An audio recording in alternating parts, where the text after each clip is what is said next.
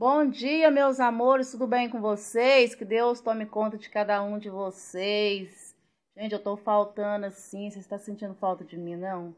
Eu tô fazendo companhia para uma pessoa que está internada que não tem parente.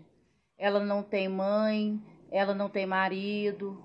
É uma senhora que está doente, está no hospital e não tem ninguém por ela. Eu tô dando essa força para ela.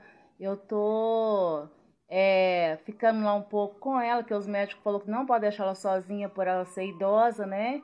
Mas é por isso que eu tô fazendo aqui um pouco de vídeo, um pouco com ela, um pouco de vídeo, um pouco com ela, né, gente? Porque a gente tem que ter, né? Gente, o negócio é o seguinte: é. A, a amante, ela tá carimbada para sempre. Ela tá carimbada para sempre. Ela roubou um pai de família, mas ficou sendo carimbada como destruidora de lar, né? Então ela pode achar ruim quanto ela quiser que ela é uma destruidora de lar, né? Se eu for falar sobre ela, eu tenho para falar isso, que ela é uma destruidora de lar.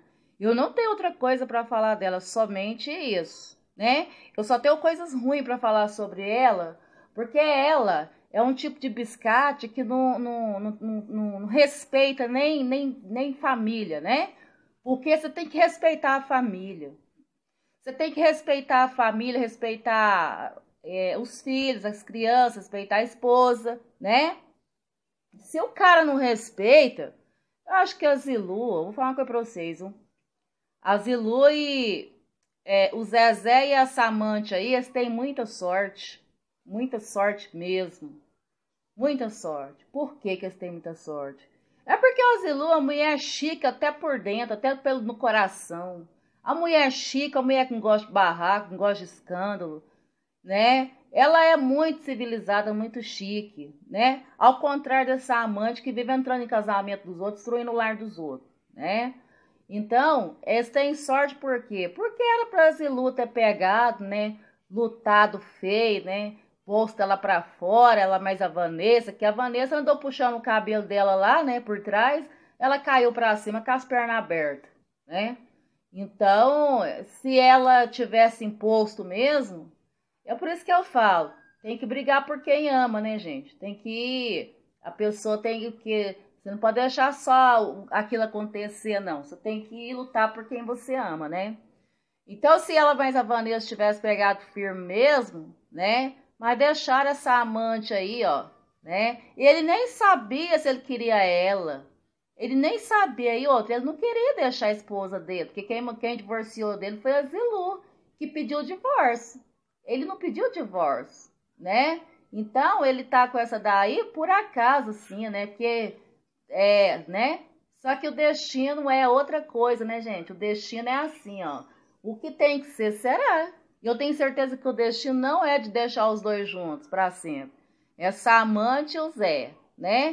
O que é que vai acontecer? Ela vai estar tá rica, arrumar um cara mais novo da idade dela e o velhinho ela vai meter o pé na bunda dele, né? Hora que ela tiver tirado tudo dele, né? É isso que ela vai fazer. E a dona do cabaré tá sentindo a rainha, né? A dona do cabaré agora ih, passava fome.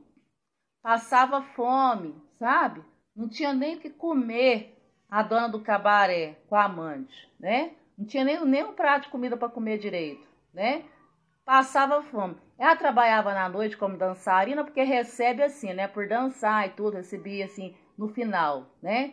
Então, ela vivia é, trabalhando assim de dançar, essas coisas assim, né? Não sei se é lá da, da do, do, lugar lá, né? Que é da Casa da Luz Vermelha. Então ela passava fome e achou uma oportunidade de tirar o pai de família, né?